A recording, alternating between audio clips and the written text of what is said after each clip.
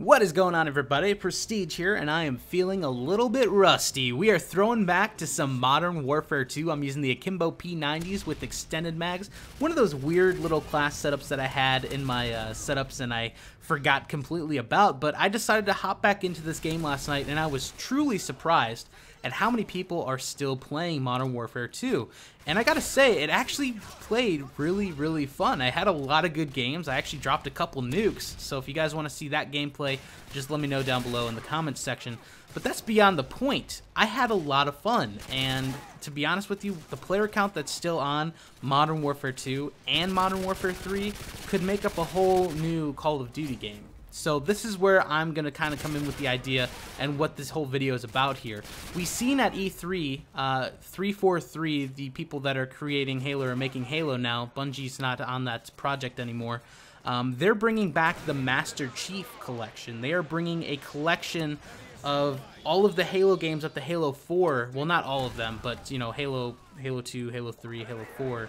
Um, bringing it to the Xbox One with updated graphics, of course, updated, you know, multiplayer, which is still going to be intact. Even the Halo 2 multiplayer is still going to be intact.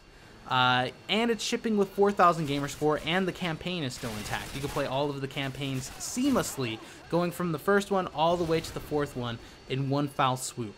And I think that's awesome. So could you imagine bringing a Modern Warfare collection or a Call of Duty collection. We've seen a lot of rumors of this type of stuff on, you know, uh, the internet. People have been posting like photoshopped photos of uh, the Modern Warfare collection or the Zombies collection. We've all seen them. I'm sure you've seen people cover them here on YouTube.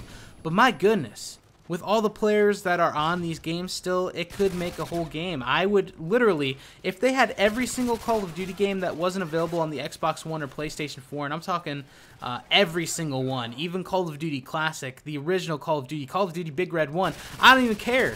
I would put down a $100. I would probably pay more than a $100 just to have everything in updated graphics, you know, what if they brought back Modern Warfare 2 multiplayer but repaired some of the stuff that they couldn't necessarily do when they first released the game? Like, what if they brought back the multiplayer and instead of one man army noob tubes, we just had one man army? One man army wouldn't replenish the explosives. You know, that would be freaking awesome. I think that would make a lot of people play the game again. And not even if, I wouldn't even care if all the stats didn't carry over. I would start from Call of Duty 4 from scratch, start all over again, and prestige 10 times. Hands down, it would be awesome. It would be freaking amazing. And it would give a lot of people another reason to go back and play these classic games.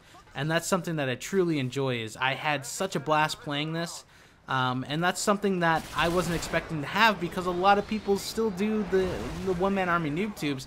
Not necessarily last night when I was playing, but you know, there are people that will try to be dicks and do that. But it would just be awesome to see, you know, some certain glitches and stuff from previous games being fixed. One-man army noob tubes not necessarily doing anything anymore. I would love that. Uh, you know, just everything remastered and brought up to speed for Xbox One and PlayStation 4. And I think that would make a lot of people in the Call of Duty community happy. Now, I'm sure this is something that, uh, you know, would not necessarily work, something that might take a really long time to do. But, you know, even if it took four years to do it, I would I would be so happy to play it again. I don't know, guys. Let me know what you guys think down below in the comments section. Remember, if you enjoyed this video, consider leaving a like down below. And remember to hit that subscribe button for more awesome Call of Duty videos right here in the future. Until next time, I am out. Peace.